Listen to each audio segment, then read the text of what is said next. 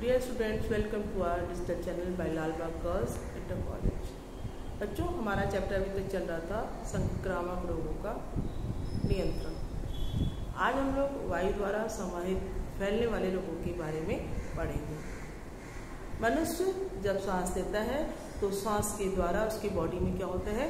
जीवाणु पहुँच जाते हैं। यदि ये जीवाणु रोगवाहक कीटाणु को लेकर चलते हैं तो ये उसका प्रभाव हमारी बॉडी में छोड़ देते हैं। वायु द्वारा फैलने वाले रोग किसी एक व्यक्ति को ही नहीं, बल्कि पूरे मोहल्ले और पूरे शहर को प्रभावित करते हैं।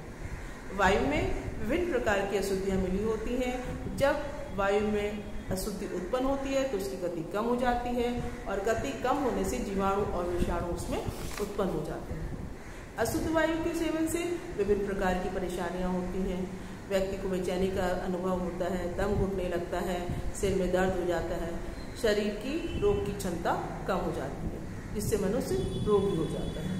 रोगी मनुष्य जब श्वास लेता है या छोड़ता है तो किसी से और किसी से जब बात करता है, खांसता है, छींकता है तो उसके जो धूप की बूंदें होती हैं, उसमें कीटाणु होते हैं। जो हमको दिखाई नहीं देते। और ये वायु में मिल जाते हैं।